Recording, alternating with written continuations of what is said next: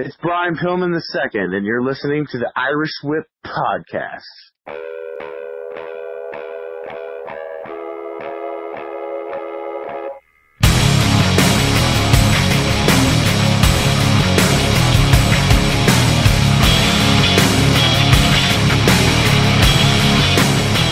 Welcome to the one and only Irish Whip Podcast. This week we bring the one and only flying Brian Pillman II. Not Brian Pillman Jr., folks, but the Brian Pillman II. Brian is a hungry, charismatic, yet humble and eager to learn talent. We go in depth on his family, his trainers, and most of all, the pool, stone cold, ruthlessly and irresponsibly destroyed.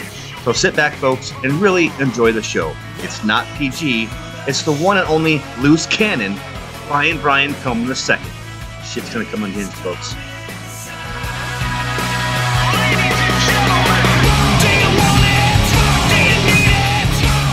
Yeti. you moron. Put it this way, I think Sami Callihan might as well just change his name to Invader One. I want to know why. Like, he can dodge any question. Like, I'll tell anyone that. You can tell me the but I, I'm going to ask specific questions. Promotional consideration paid for by the following. Hold one. Arm drag. Whoa! This is Brett screwed Brett. Who are you to, to, to doubt El Dandy? Because this guy's a serious professional. Rep. screwed Brett. hold two. Arm bar. Hey, get a nice shot brand new Mr. and Mrs. Hunter Hearst Helmsley. I hate you. I hate you. I hate your hat. I hate your t-shirts. I hate your wristbands. I hate your shoes. I hate your music. I hate the C Nation. I hate everything that you stand for. So does rule. Yeah, they do. Hold three.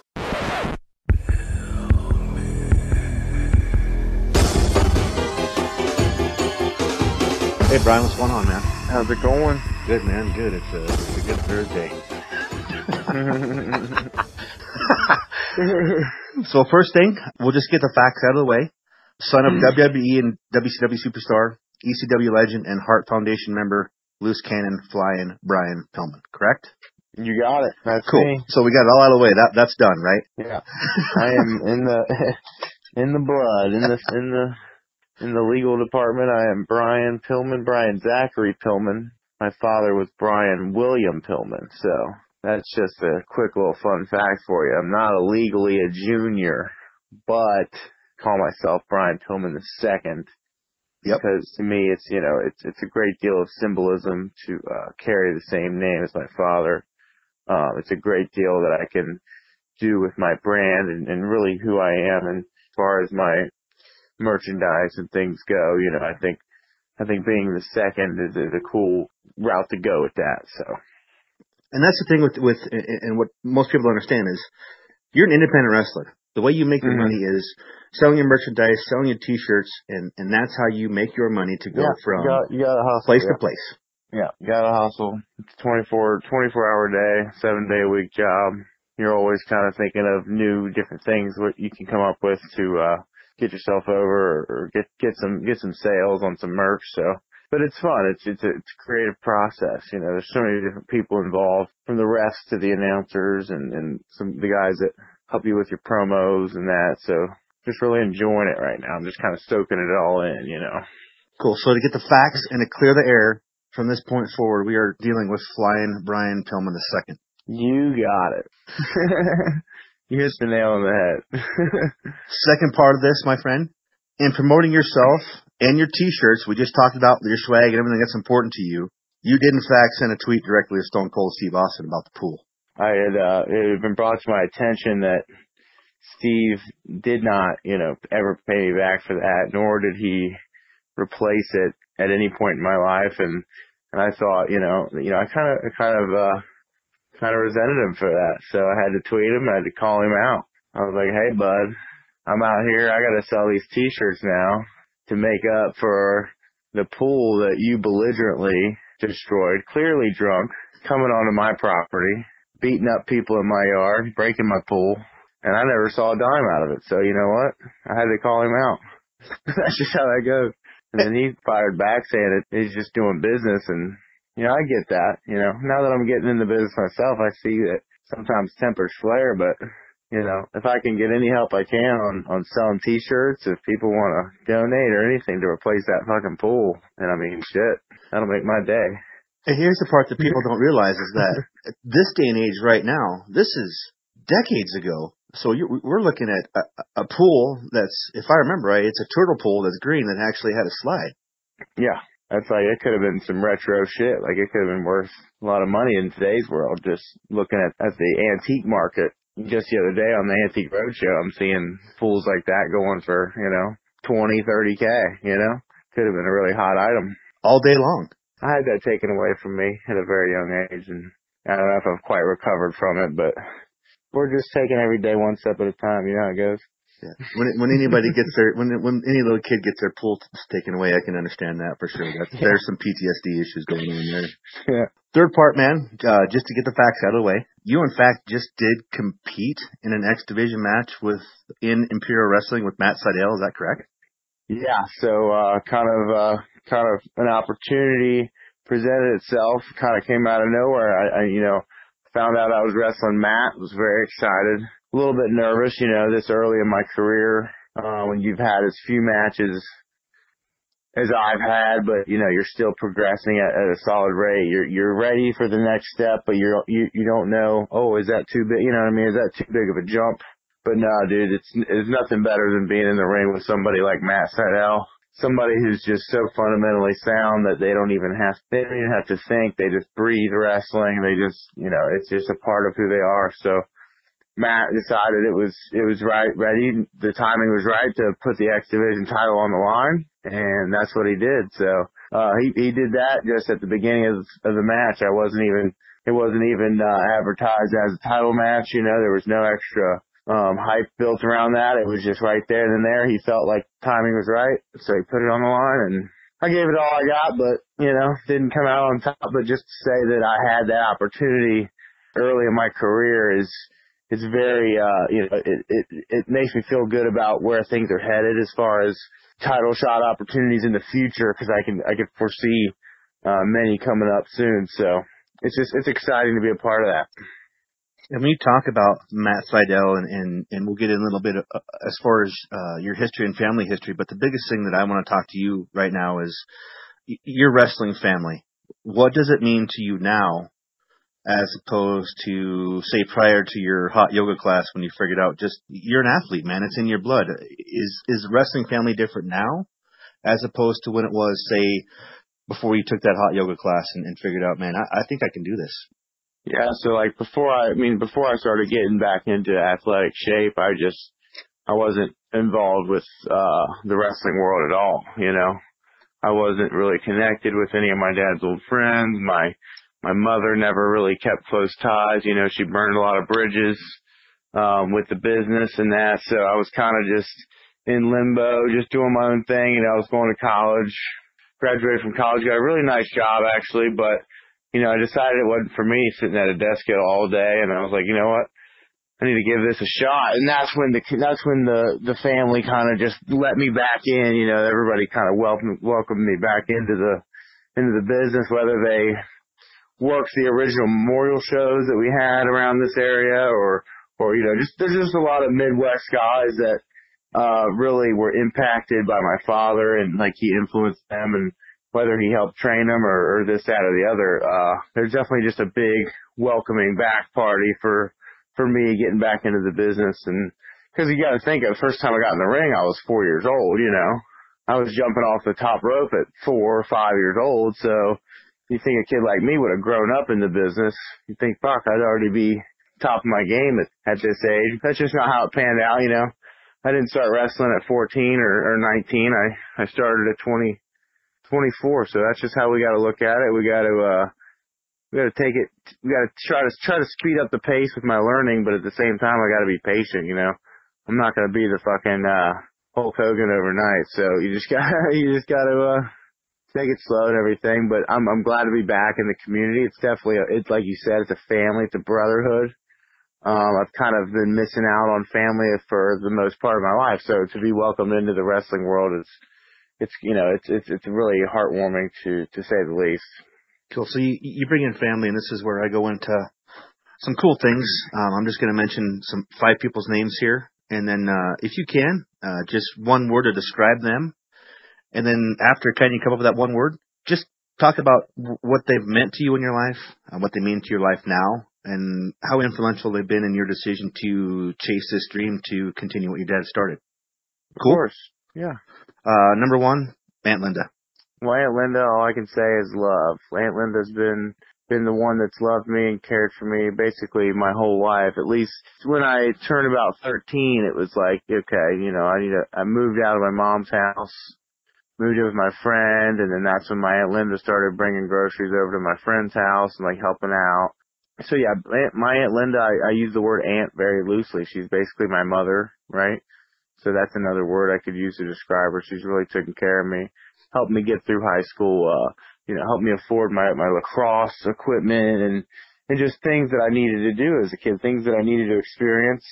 I finally got to experience because when I was younger, you know, before, before the age of like 15, you know, I never really got to have that childhood. I was kind of surrounded with an environment that there was no rules, there was no discipline. It was just all, you know, it was just a chaos and finally I got some structure in my life, so I have to thank her so much for that. Love her to death. Follow, following up with that one, man. Number two, Brittany. Uh, Brittany is, uh, she's always been my rival, that's for sure. Cause, you know, we're, we're that, we're like three, what is it, three years apart. She's a girl, I'm a boy. You can just imagine what our upbringing was like. The amount of shit we've gone through together. We're, we're probably the closest siblings in our family. We're very close, you know. Uh, I've been through more with my sister than I have with, you know, through with anybody else in this world. So she's been a part of it longest. I can't say much other than I wish she would, uh, I wish she would give wrestling a shot. I wish she would see what she could do in this business because I think, you know, the way things are going with women's wrestling and, and everything, it, it's all, you know, it's blowing up big and there's a huge push for, for women's wrestling and she's got the good look for it. Her mother was a supermodel. She's a great athlete herself. I wish she would give it a shot because I think she would have a lot of success, but you know, it's just one of those things where we're just different people. Like I said, she's like my rival, but like when I say rival, I just mean kind of like opposite, you know, like You we're guys, kind of just different. Yeah, she she's not as charismatic. She's she's a little more, you know, introverted. I'm a little more extroverted, you know. So that's just the difference there. I'm I'm I'm somebody that desires to be out in front of people and soaking up all the attention, you know what I mean? So wrestling is a common fit for me just because I'm a natural born star, I think. Uh Brittany is not so much about the the social and the people, you know what I mean? You know, you you really got to have kind of that factor to you but like I said, she's one of those girls. She's really athletic. I think she could make a lot of success for herself in the wrestling business, given that she gives it a shot. So we'll see about that in the very future. maybe Flying Brian Pillman II just needs a manager first. yeah, maybe we'll break her in as a as a manager or something. Number, I got three more here. Uh, n- number three, Rip Rogers. Oh, he's a he's a sick motherfucker. No, I'm just kidding. he's a sick son of a gun. No, he's Rip is just Rip's a good uh role model because you know his philosophy is you do what makes you happy, you chase your dreams, and you don't you know you don't let anybody stop you. You don't give a shit about what anybody else has to say because at the end of the day, if you're busting your ass, and he'll tell you, he's like, you know, this business is not a fucking, it's not an overnight thing. He's like, people bust their ass for years before they even got their first match, you know, back in the, back in the day when they, you know, they'd beat you up, they'd jump you to get you into the business just to make sure you wouldn't, you know, make sure you keep it, keep it kayfabe. And it's just like, the business has changed much since he's been in it, but you can just tell he's one of the toughest son of a guns that ever walked this earth, you know, like, I won't fuck with him now. I wouldn't have fucked with him then. I wouldn't have fucked with him at any point because he's just a badass motherfucker. That's all I gotta say about Rip. but he knows more about like the intricacies and the little things about wrestling than I think probably anybody I've ever met because he is kind of like a, he's got like a savant like understanding of wrestling. You know, the way his, the way his mind works is not the same as most people's brains, if you get what I'm trying to get at. He can he can see what the crowd's reaction to before they even have it. Yeah, yeah, yeah. He's just yeah, he just knows it all that much, and I don't think he's a big fan of the current product, and not everybody is, but you know, with his idea of things is the best way to learn this craft and this art. I think it's his like his philosophy and his psychology. Guys like him, guys like Lance Storm, guys that really understood the uh really what it, what what it meant to be in this sport back when it was you know pre pre kayfabe. You know what I mean? Like they they knew what it was like to get less out of you know or more out of less. You know they really milked more reactions. You know they really made things matter. So they understand a different world of wrestling than what we know today. If you're and you, and you bring up the old school stuff, if you if you're Hulk Hogan and you're a face and you see the Iron Sheik as a heel and you guys are in public and he enters the same restaurant, you Yeah. guys are not going to acknowledge each other. You're going to try and kick each other's Yeah. ass, and that's what's going to happen.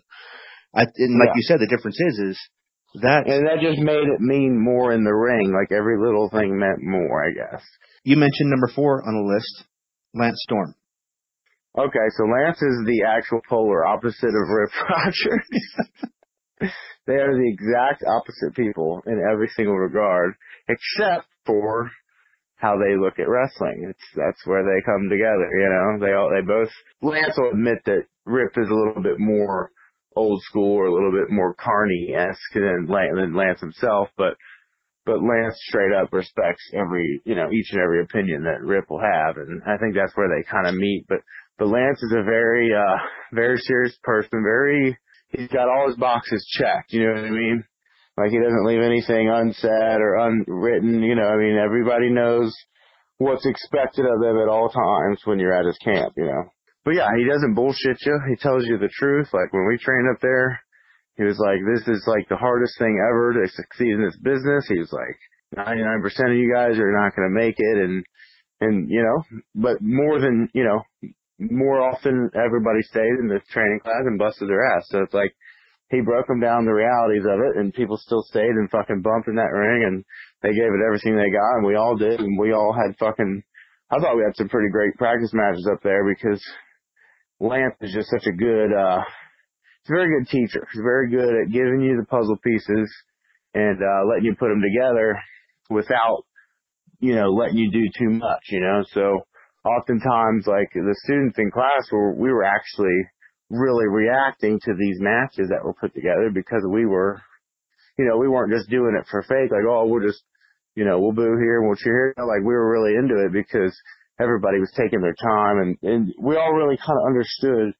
what he was trying to say because he would say it a lot and he would repeat himself and just an overall, I think he's a natural, natural trainer.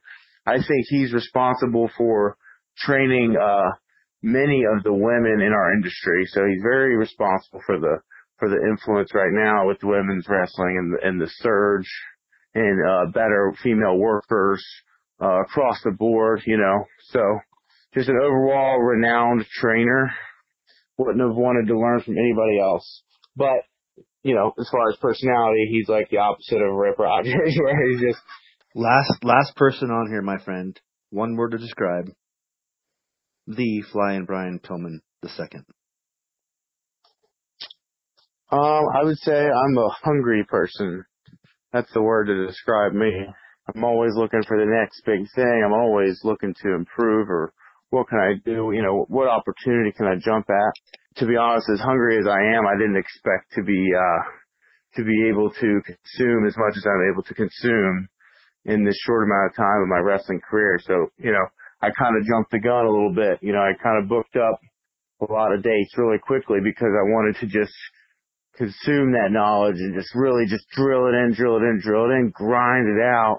You know, I wanted to go out there and have matches where, you know, we're just going out there and doing it. You know what I mean? Like, you don't even see the guy until you get in the ring with him. Like, the locker rooms are separate, you know, old school cape, you know what I mean? Like, I've done shows like that. I've done shows, all kinds of different styles. So, just this quick short amount of time, I'm doing like, okay, this guy works like this, this guy works like this. I've got to be able to do both, you know? So I'm really fortunate too that I get to work with a lot of vets because that hunger is satisfied by the veterans who can tell me where I fucked up and and let me know like how to improve and how to increase my my chances of success in this business. So if I had to describe me, I'd say I'm very hungry. I'd say I'm I'd say I'm an aggressive uh wrestler in the ring. And I try to, you know, cause you can tell, you can tell I'm coming, I'm coming to eat, you know, I'm hungry. I'm coming to eat every single match. I'm coming to eat and, uh, that's just how I, that's how I look at it. I look at everything as an opportunity to improve and to advance in this business. So you've talked a lot about about styles and, and people, um, especially the match that you just had w- with Matt Sydal, and, and you touched on it, man. Is it's you never know when the opportunity is going to come, what that opportunity is going to be, and you never really know how long you're going to be in this business because Matt Sydal's been doing this for a long time, especially when I can say that I had the, you know, we, we interviewed this kid a long time ago and it comes full circle with you. The biggest thing that I can see and what I hear and just what I've read is that you pick up things very, very quickly. You learn very, very quickly. You're a natural athlete. What's the difference between training and then being in, in a ring or a match or whatever anybody wants to call it, a work of art, a performance, whatever, with somebody like Matt Sydal? Oh, it's just, it's completely different. I mean, I wrestled a lot of guys, and, and, and granted, I wrestled Lance in training. Back when I was training with Lance, he would actually do matches. He gave everybody one match with him, but it is way different when you're out in front of a crowd and, and you get to experience what, a, you know, what somebody who's out there in today's business, how they work. And it's really enlightening to just see like, okay, like, you know, they wait for these reactions or this is what they do uh, when this happens and then how they cover. You know, if, if this spacing is not right, they'll cover it up with this move. And, and it's just really cool because what people don't realize is veterans, 10 years, 20, 15, it don't matter how long you've been in this business. These guys make mistakes all the time. But you guys don't know that because they cover that shit up and, you know, we move on with our match and we fucking have a killer performance and, and it's kind of, uh, it kind of, you know, lights your adrenaline up with maybe, you know, maybe you throw too stiff a strike or something and you really check the guy and it's like you just kind of fire each other up a little bit. Maybe you get him back with one, you know what I mean? It's not like the olden days where they just beat the shit out of you if you, if, if you fucked up in the match, you know, so he could cover up my stuff and really take care of me. And man, I just sold, you know, like I could everything I could for him because he just, he knows everything, you know, when someone like him, I mean, I think he started wrestling when he was like 15 or something, you know, 20 years in the business, guy's 34 years old and they just, like I said, they just breathe, they breathe wrestling, and and when they're breathing it, and you're inhaling it, and then you're, you know, you're breathing it back out. So we're out there, and we're just making magic, and that's one of the few nights I was like, okay, like I really feel like I really feel like I'm a fucking, you know, I'm a pro at this. Like this is really cool.